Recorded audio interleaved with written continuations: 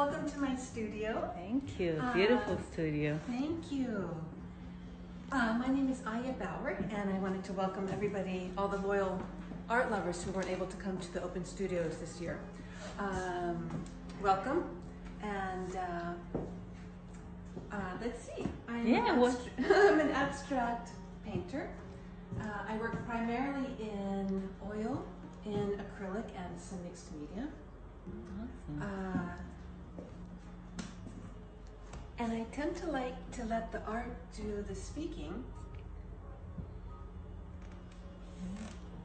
But I will share that I'm inspired by nature, by our relationship to nature. I'm very moved by the fluidity of organic lines and curves, ever changing light, and the energy that moves through all living things.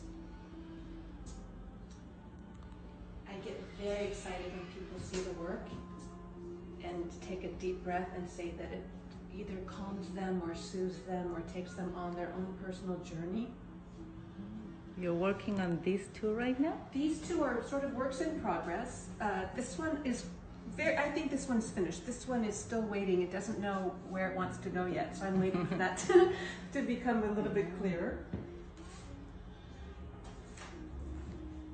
I tend to name most of my works uh, in French. Uh, Yeah. I lived abroad for 10 years and French names seem to be what come to me.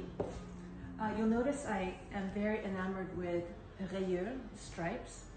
Uh, I love the way they reflect the constant of the horizon line and the light of the both the California coast as well as the southern European, southern And you might notice over here, Paula, I have um, quite a few works that are either representational nests Ah. and Paris. And nests have had a very um, symbolic meaning for me. This one is called Le Nid Éphémère, the ephemeral nest. And as I have moved many times, up to 20 times in 20 years, with eight of those international, um, I love how nests represent the ephemeral nature of life. Mm, Beautiful. And for some people, they represent family and coziness.